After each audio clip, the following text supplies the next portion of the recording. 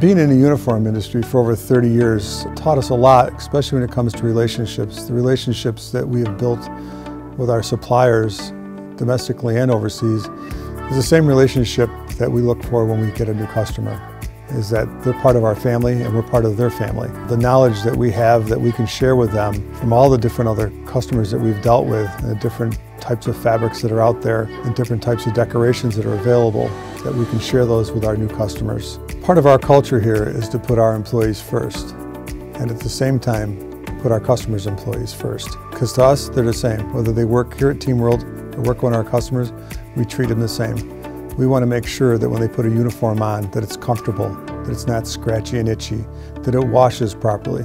Same as if we were giving it to one of our employees, it's the same thing we do for our customers' employees. Things that set us apart in the industry are the breadth of knowledge that we have of our customer base, from fast food to convenience store chains to grocery store chains to office supply chains, and the unique differences in what their uniforms have to be.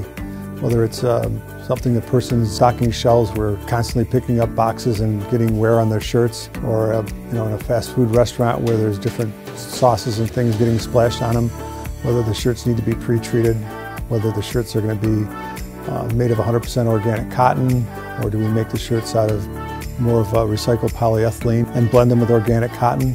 And everything depends so much on what the customer's requirements are and their needs are and the comforts of their employees, making sure that the, the longevity of the uniform is going to last a reasonable amount of time and the, the cost is, goes along with that. Part of the process for us is when we do a uniform program, what we like to do is have the customer select fabrics. Once we have fabrics uh, selected and design selected, what we'll do is have our factory make pre-production samples, bring them over, let the customer touch and feel them, make some changes to them. Once that's done, what we like to do is generally have a certain side of the population of that company do a test. So maybe it's just one store, maybe 50 people, maybe 25 people, maybe 300 people. We'll make a complete set of uniforms for those people to test and wear and give, a, and give them an evaluation form to tell us whether they liked it, didn't like it, think the features and advantages uh, that are best, and then we'll go back, sit with the customer, and see if we need to make changes to any of the items before we go into mass production. We truly want to look at